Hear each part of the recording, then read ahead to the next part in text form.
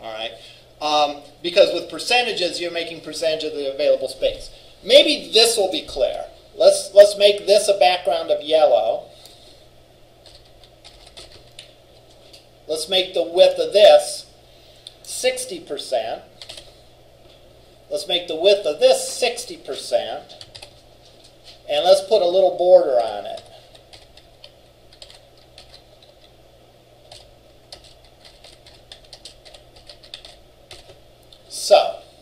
Go and save this. And look at it. All right.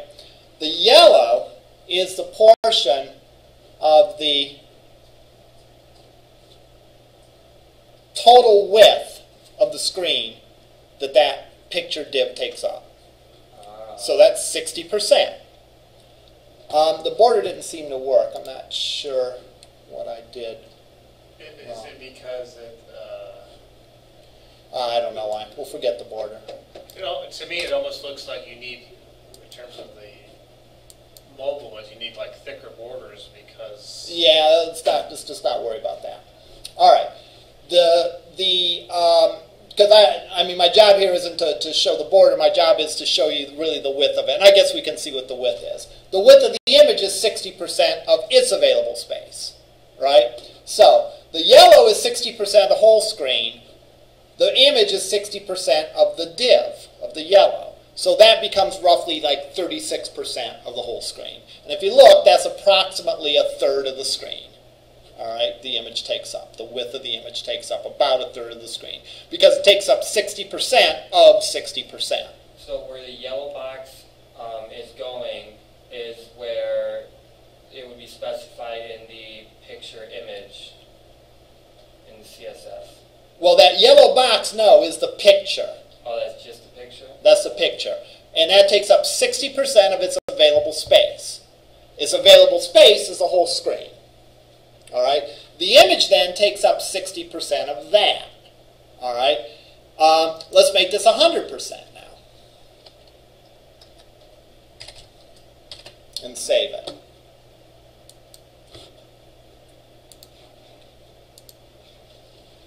Now notice, except for the little thingy down there, you don't really see the yellow.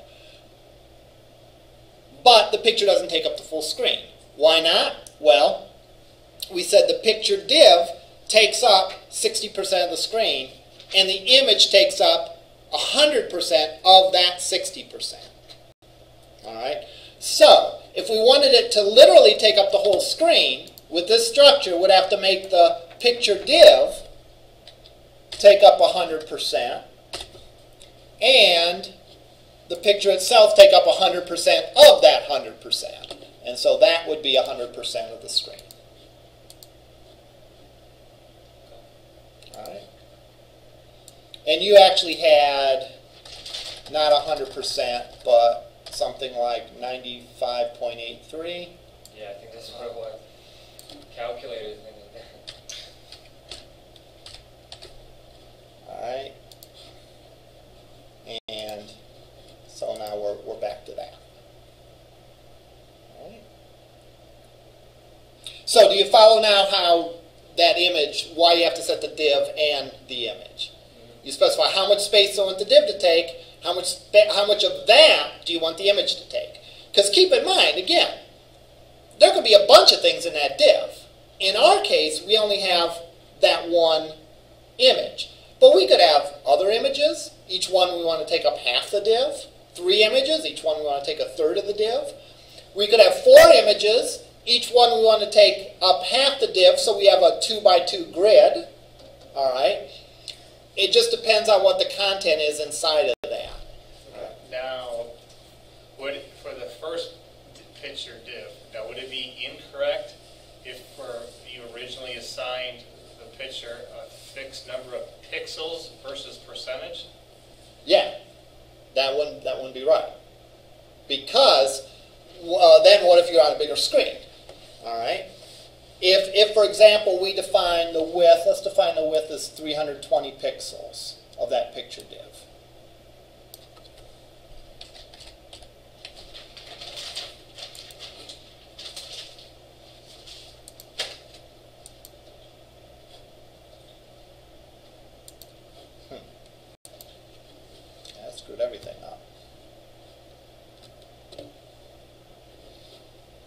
this isn't, isn't three hundred, or uh, isn't, uh, three twenty pixel density.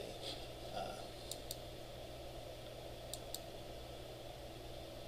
Okay, it's a greater pixel density, that might be messing me up. But the, the bottom line is no, for mobile things you want to use a, a relative size because there is such variance in uh, the screens of mobile devices.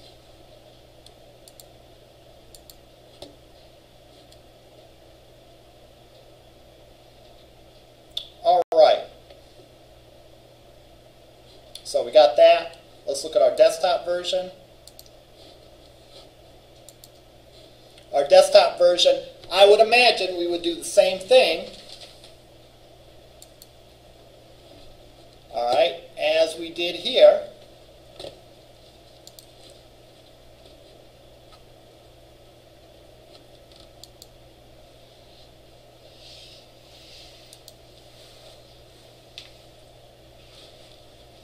Oh, you know what? I put that in the wrong place. That was supposed to go on my handheld style sheet.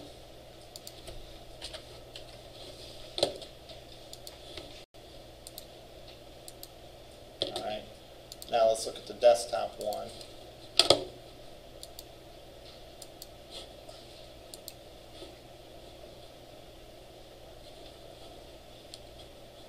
Oh.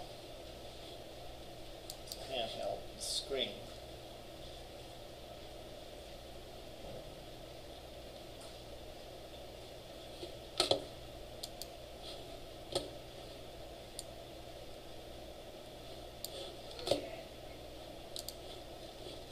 Oh.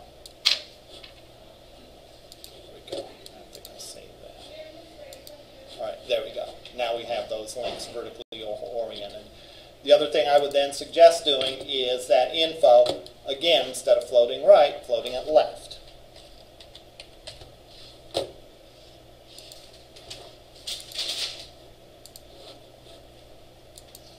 And that moves that closer. And then playing again with the margins and padding, you can make it tighter uh, if you wanted to. Now, the one issue that I see with both of these, all right, is that both of these approaches are the graceful degradation one. They're not the mobile first. I don't know if that was intentional or you're still working through that or or what. I, um, because you said to continue, you said, um, the, the lab two was a work off of lab one. Mm-hmm. And you, and then in class you said, um, said, once you get the first one done, it will be easier to do the second, because you just copy over the code and just change it. So I, I did that, and I, I don't know, I didn't know if it was really mobile first, but Okay. Now, again, mobile first. What's different about mobile first? What's different about mobile first is we're going to do things the reverse way. All right. First of all, we're we're likely going to end up with the same or very similar results. All right. Uh, mobile first is partly a philosophy in that think of the way you want the mobile site to work first, then think of things that you want to add on to it. All right, add on to that. Let's make a copy of this.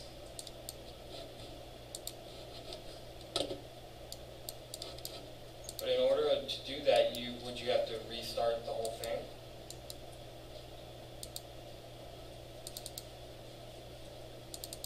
No, with the week two assignment, you, it was the intent was is that you would do it with that, and then go and apply it to the first one.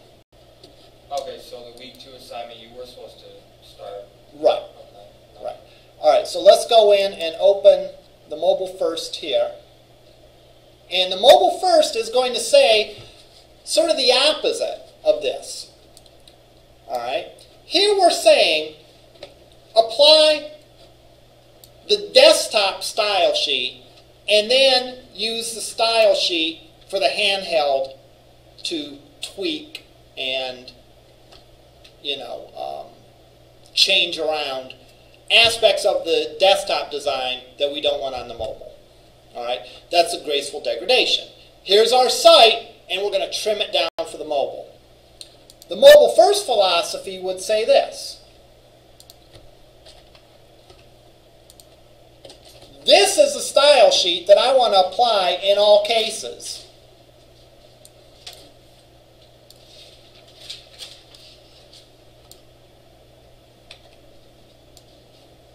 I can get rid of the media query, or I can say handheld or screen.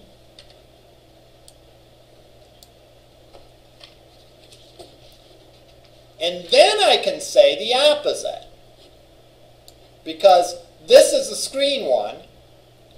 I'm going to use the handheld as the base, and I'm going to enhance it with the screen style sheet. So I'll say instead of maximum device width, minimum device width, 481.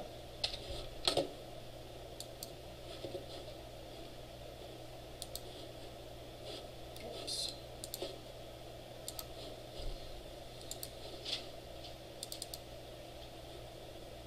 All right.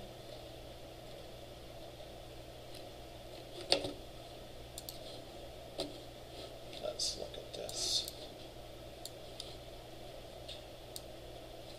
All right, there's that page. Um, and we view it in the browser. Ah, IE isn't good on media queries. Let's open it up on in, in Chrome.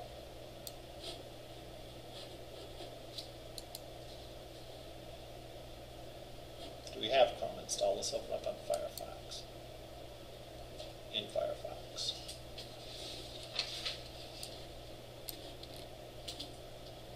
And there we have the desktop version. Ideally, you end up in the same place. It's just a philosophical difference, and it's a difference in approach, and it's a di- difference when you design. In one case, you say, I'm going to make a style sheet for the desktop, and then I'm going to write a style sheet for the mobile that trims things down. Gets rid of some things, maybe, repositions things, whatever. All right? The other approach is to say, well, I'm going to take um, and start with the mobile, start with the bare bones site, get that working, and then I'm going to add some things on. And whether they be added on via JavaScript or via a CSS media query, you can get, then go and add things on. All right. Ideally, you end up in the same place. All right, or, or you should end up in the same place. All right. Um, but again, it's sort of good because instead of thinking like throwing everything in and whittling it down for the mobile site, you start off sort of lean and mean and just come up with a basic bare bones design and then you enhance it uh, to look better on a desktop environment. All right, questions about this? Um, so I, I think you're all set with this then? Um, or, or let me, I'm asking you that. I'm not saying I think you are. Are you all set with this or do you have questions remaining? I, I think, I mean, if Okay. I had questions, it would, I would run into it in the lab. Okay. All right. So, so you at least know sort of where to start, and, and we could go from there and see if you have uh, questions Yeah. uh, about that. All right. Excellent. Thank you. Um, all right. This is a good review. If I, if I was doing this course over again, keeping in mind this is the first time I'm teaching this course, I probably would have spent a little more time reviewing CSS because depending on what you've done and your background and how much you've worked on CSS, um, a lot of these floating things and, and fluid designs, more fluid designs, people find tricky. So some people, you know, some people have a grasp on it immediately. Other people, I think, need a little brushing up on it for that. All right. Um, there's two additional things that, that are in the book, um, and I gave an example of one, I think the one class um, where I really sort of went off topic, uh, and that is using JavaScript to do stuff. All right? And I do want to pull that up. And there's any number of ways you could do it. There's, there's uh, some JavaScript code in the book. Um, and I may have may have actually copied that, or I may have found on the web a script to do that.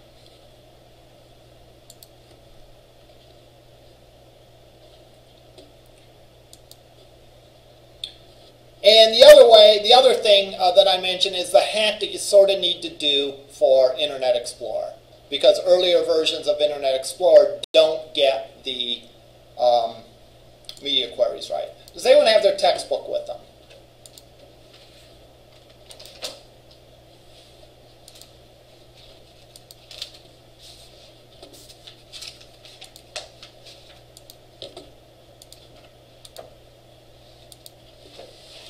Uh, can I take a look? No, it's in that one chapter.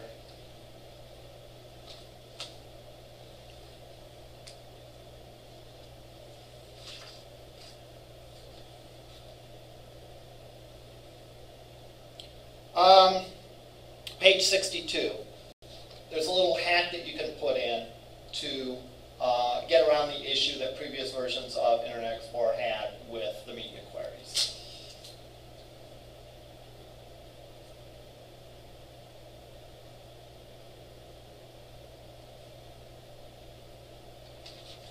So again, that's why when I first brought, it, brought up your example after we worked on it in IE, uh, it didn't display right because again, I forgot that uh, the issue with uh, IE and media queries.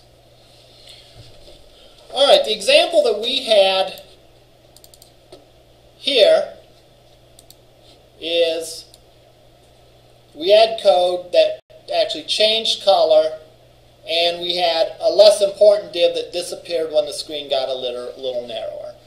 And we said something like that is a technique you possibly could use on a mobile device because if the screen was so big, all right, you show both pieces of content. If the screen was not a certain size, then you can not show uh, that content. Let's view this in the mobile emulator. Let's see how that goes.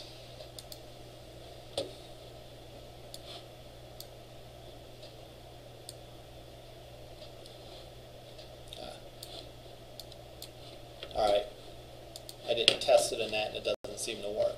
Anyhow, let's look at this, uh, uh, the code for this.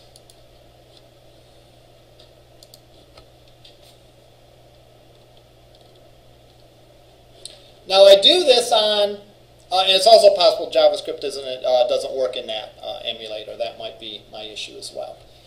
Um, I have some code that, that displays and formats the window. All right. Keep in mind that we can do anything based on this property. I have some code that, depending on the um, browser uh, type and all that, figures out how wide the window is and sets the variable win_w um, as being the width of it. I can then do anything I want to with that. Like, for example, I heard you talking about something where there's buttons up to one point, then it becomes a drop down. All right? Um, that would be easy enough to do. All right, let's save this as a new file.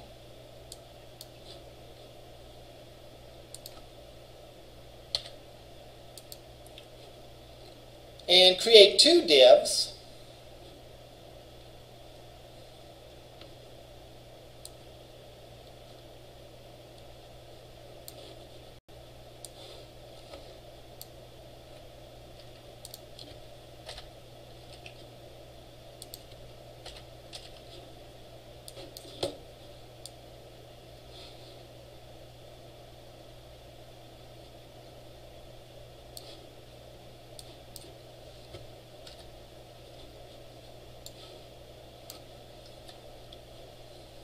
This can be the div with buttons.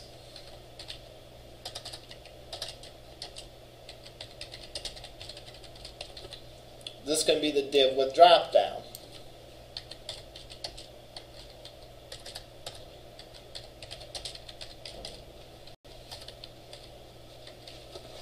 All right. Never mind my important, less important. You'd give them more descriptive names. If the width is less than 400, we make the div with buttons invisible, the div with a drop down visible. If, we, if it is um, not less than 400, we make the drop down invisible and we make the um, buttons visible.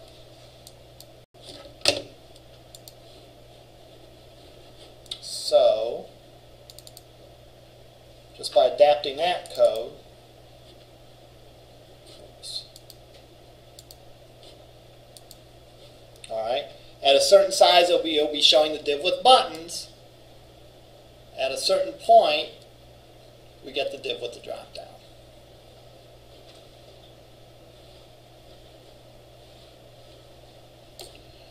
The idea is, is when you do things in JavaScript, you sort of take control of, of anything. All right, um, you're not really limited to, um, you know, you're, you're not really limited. You can you can create new content on the page. You can show versus hide content. You have a lot of possibilities, a lot of potential with that. Uh, the one thing to realize, though, is that if you hide content, you're still downloading that content. All right. So, for example, if you go and you hide the div with buttons in it, you're still downloading those buttons. All right. You're still downloading those images because that content is there. All right. Um, it's just not being visible. So you, you can get that. And, and they talk about that in the book, and they talk about that tool that you can use to analyze that and see exactly what's getting downloaded. So JavaScript is your other tool that we didn't really spend a lot about, but I encourage you to, to experiment with, uh, with that. And if there's something specific that you want to do, um, let me know. Really, the advantage of JavaScript is that um, you're not limited to just the stuff of, of, of, uh, of CSS. You know, you could do a lot of different things. Um, you know, uh, you know, you can write your coding very precisely to do some very specific things, and you have a great deal of control to, to configure the page the way you want it to be. Questions at this point? That uh, one you just altered, could, could that be put into the assignments folder for us to, to, to play with it? Uh, Yeah, the, the one's already out there. I'll put the other one up, though. I'll, I'll put the second one up. Yeah, like I said, because I, Yeah. I, I've been, like you said, the samples of that uh, we've Yeah. been looking at. Um, I have seen that, like you said, content Right. going away at a certain point, so it's Right. definitely intriguing. Right. So again, uh, yeah, I'll, I'll post that up to the. I'll actually post that to the lectures folder, and then you can you can take a look at it there. Now, the sad thing about web development. All right.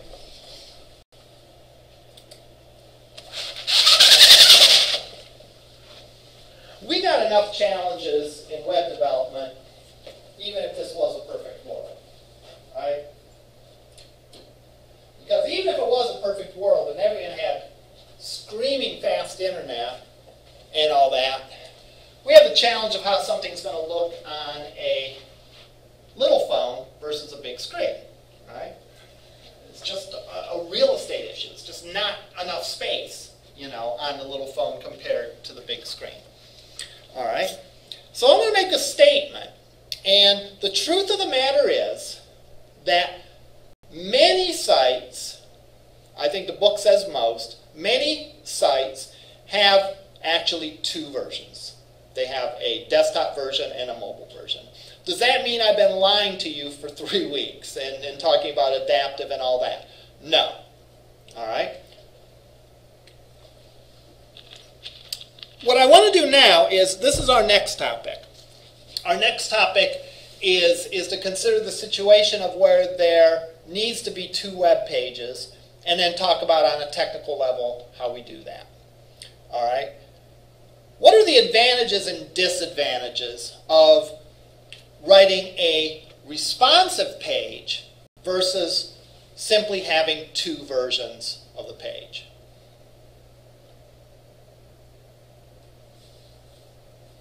All right? There's a lot more work involved with having two. Right. So, if we have two versions, we have two versions. All right? So, there could be, you know, increased work to create because double sites. You're doing everything double.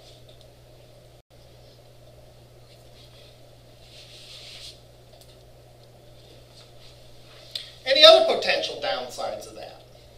Let's keep mind potential, not necessarily that there'd be a problem.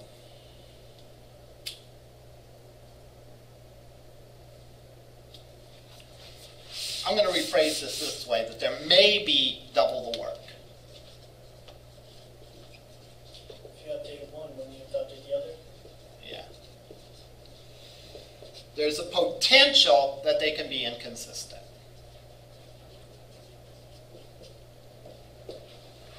All right?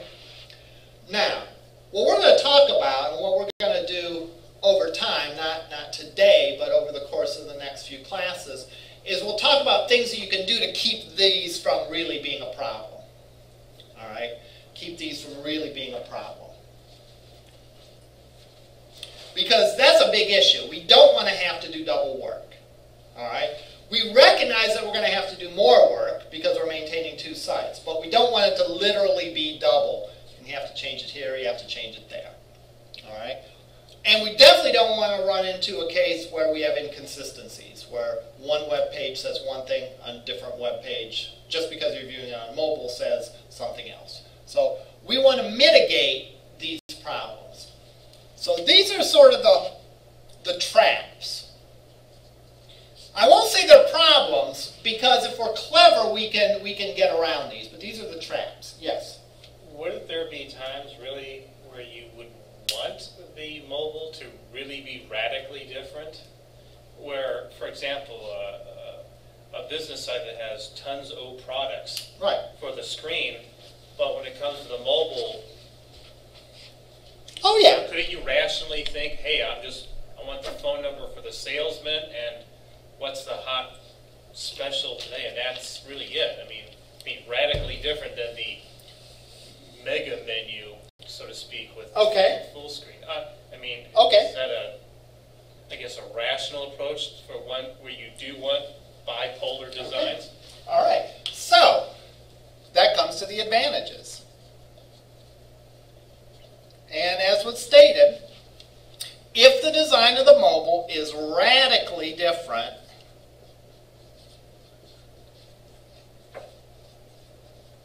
then it might just be better instead of trying to shoehorn some clever combination of CSS and JavaScript into some gigantic maintenance nightmare to generate two totally different pages, to just write two different pages, right?